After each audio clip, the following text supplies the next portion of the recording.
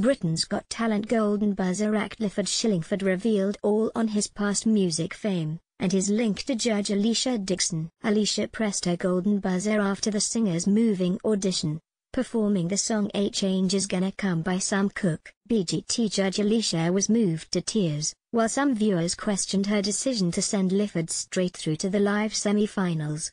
Lifford confirmed he performed the 2000 hit Please Don't Turn Me On with the band Artful Dodger.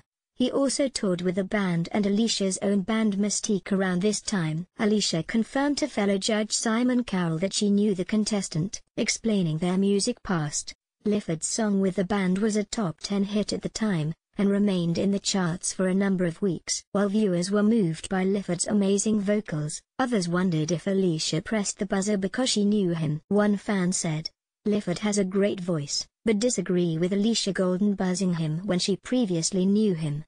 Another agreed, I think Alesha only did it because she knew him. No offense intended.